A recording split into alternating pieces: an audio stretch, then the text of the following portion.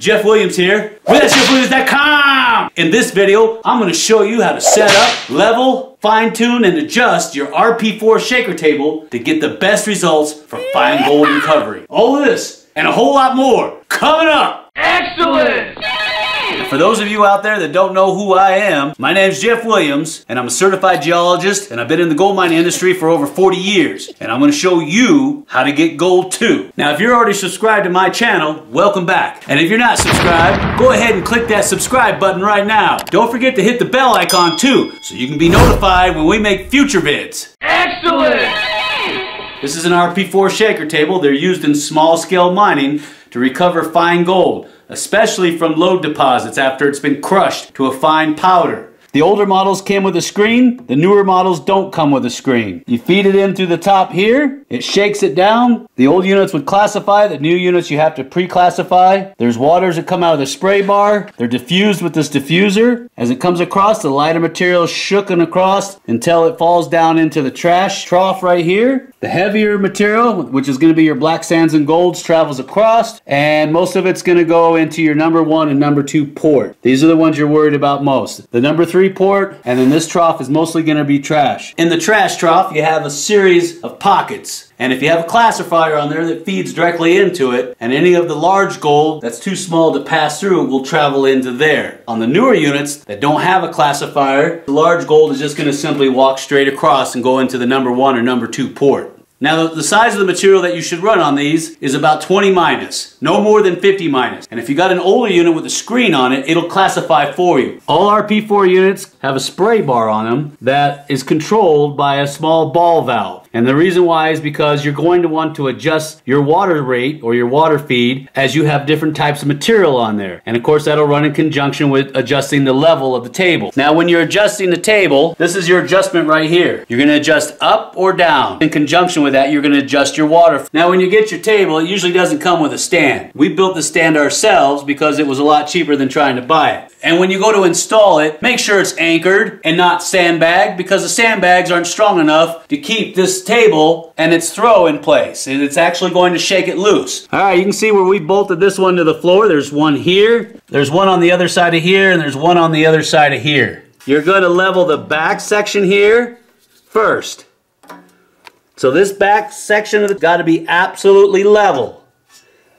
Then you're going to level the back side of it has to be absolutely level. So you got two points, this point and this point to level. Don't worry about the front. You're going to use shims to level it. And it's very important that this is level. That's why I say I don't trust sandbags because there's too much movement. And if this stand isn't level perfectly, it's going to have a direct effect on your settings. Now the back of the table is hinged. You can see the hinge here. There's one here and there's one back here you can see that the table does move on these hinges. Now these hinges have to be bolted down to your stand. When you go to set the RP4 table up, you're going to notice that this adjustment bolt sits right on top of your stand if you buy a stand. Now when we built this stand, we welded a nut down here on the bottom and that's very important because when you go to use this table, there's so much vibration and shake that this thing will actually start to move up and down. And I've seen a lot of people out there have to strap this lower section to the bottom of their frame. So if you're going to build a stand, make sure you weld a small nut in there so you can thread this adjustment rod, this adjustment bolt into it to keep it locked in place. All right, now you have your number one and your number two port, number three port, and then of course this is your trash port or your trash trough. And when you get the table, it's going to be open like this. You're going to need to put something here that will feed down into a bucket. This system operates on a recirculating water principle. Now the reason that is, is because you're going to add a surfactant to it like jet dry, and that's going to drop the surface tension on that water. If you have fresh water coming in constantly, then you're going to have surface tension on there, and that fine gold is going to want to float right on the top of it. So that's why these tables have to have a recirculating system, and then you're adding jet dry into it. All right, one more thing you're going to want to add to your table when you get it is a light. You're going to want to put a light here so you can inspect and you can actually see that line of gold. It's very important. When you go to do your adjustments on the ball valve for your water adjustment and then on this adjustment nut to raise or drop the table angle, you're going to want to look at it and see where that gold is walking. And you want to get that gold to walk right into that number one port there. And then you're going to have a few pieces that straggle into your number two. Everything in the number three is going to be trash. And of course your trash trough is going to be nothing but trash. Now you're ready to run some material.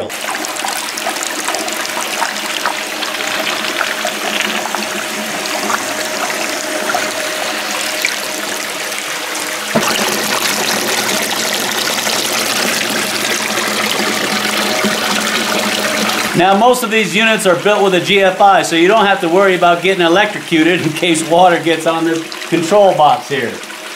Throw your switch, and it'll start shaking. I highly recommend feeding the material in wet, right up here in the top.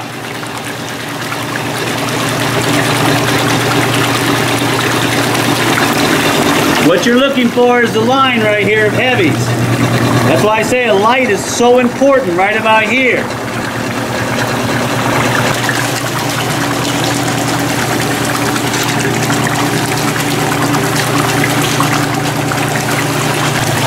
All right, I've got my gold line right up in here, but I've got such dirty water it's hard to see.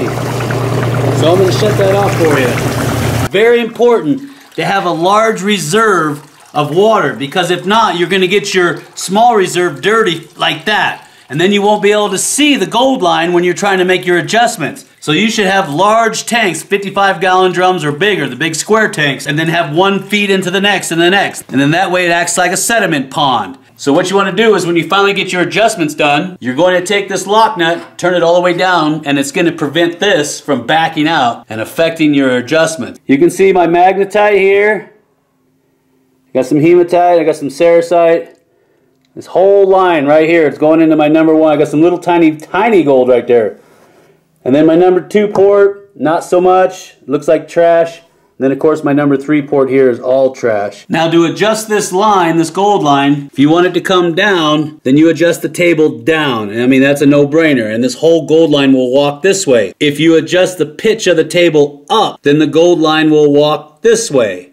So that by doing so, you can adjust the pitch of the table. You can move that gold line back and forth. By adjusting the water flow, that's also going to have a direct impact on where your gold line is. So I'll run this at three quarter, if not wide open, when I'm running my material. And then I'll just work with the adjustment bar. You're going to need to put two very flexible lines coming off of this into a container. I like to keep my container in the water. This one I usually feed in with this one. This is both in my book trash and they'll feed into a large five gallon bucket. Now a lot of guys what they'll do is they'll build a line that comes out from here because this after a while creates a large mess. Where you feed in here you can see all these riffles. Their job is to help break up the material. But also I've actually seen pieces of gold get trapped in this corner over here so don't forget to look there. It acts as a natural trap. Don't put them outside because the sun will warp this plastic and as soon as it does, the table's trash. You might as well get rid of it. Make sure you check the tension on the pulleys. Grease the bearings because they're going to get dry from time to time. Now, if there's anything else that you think is important that people should know about these tables, leave it down in the comment section. All right, now we got this table from a company called 911 Metallurgist. It's a company up in Canada, and they're really good. A guy that runs the outfit is David. I want you to give him a call if you need one of these units. They got mini jaw crushers, all the way up to ball mills. They've got everything. Just let them know that Jeff and Slim sent you, and he'll hook you up with a great deal.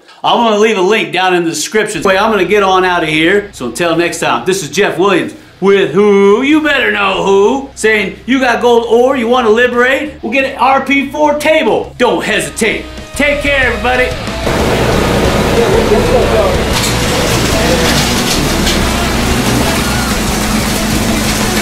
Yeah, see the little pieces of gold? Oh yeah. Shut the water off real quick. Let me check this out. Oh, yeah. Wow. Look at all that gold. Oh, man. Yeah, there's a piece of wire gold, see it? Yep. And look at that fine gold. Oh, man, nice. I, I can see it across the line even with the first bucket. Look at that.